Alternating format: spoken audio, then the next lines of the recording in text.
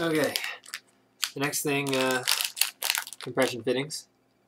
Um, one of the biggest uh, problems people have with um, water cooling is the fact that uh, you chance leaking. If you have a leak, well, um, kiss your computer goodbye. So one of the ways to prevent them is to buy compression fittings. Compression fittings are extremely useful for, well, saving yourself a lot of heartache, maybe later down the line.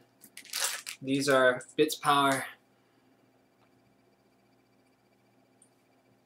and they have, they're basically like a rotary. It's uh,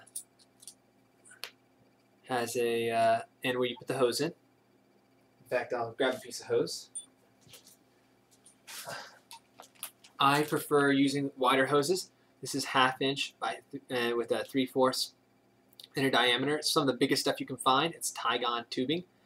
Tygon tubing is some of the best. Unfortunately, it's expensive because it's kind of only produced by well one company effectively, so they kind of have a strangle on the market. So this can run you as much as three dollars a foot. So this is three dollars almost. Ouch. Fortunately, if you're smart, you don't really need all that much. Um, object is not to make it kink. So you don't want to make it let it do anything like this. You want to do smooth bends if possible. No creases. If you have a crease, such as that, that. So you take this, set it there, I won't scratch anything, and uh, you take the fat side of this and you put it through the loop like this. Then you push this through here,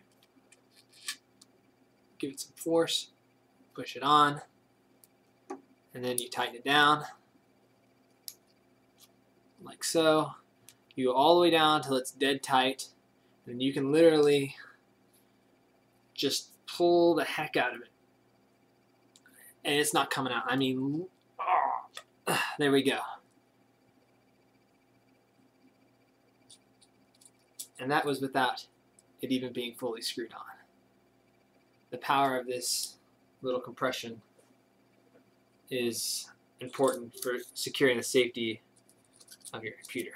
So what I'm going to do is take this, screw it tight, make sure you don't cross thread, you don't want it to leak.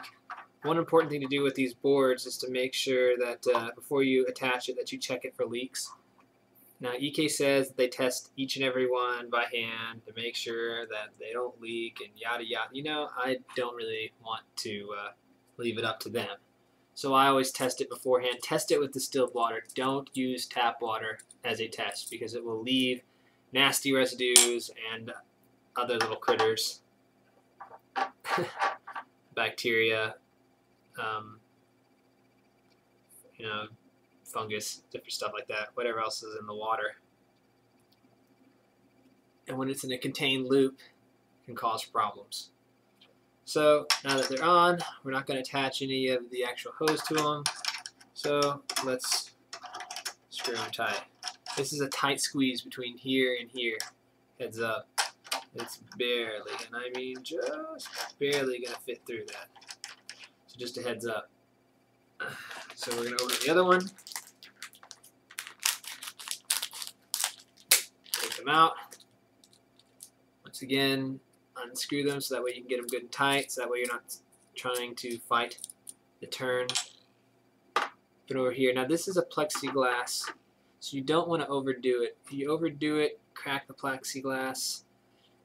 There goes 140 $160 or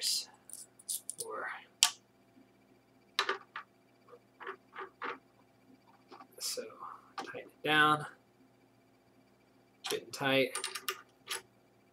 Tighten these down. Once again, it's a tight fit. Half inch, three fourths diameter. Gives you a thicker tube, better turns generally, at least as far as fluxing goes. If you use thinner tube, it will already have pinched on you quite fast.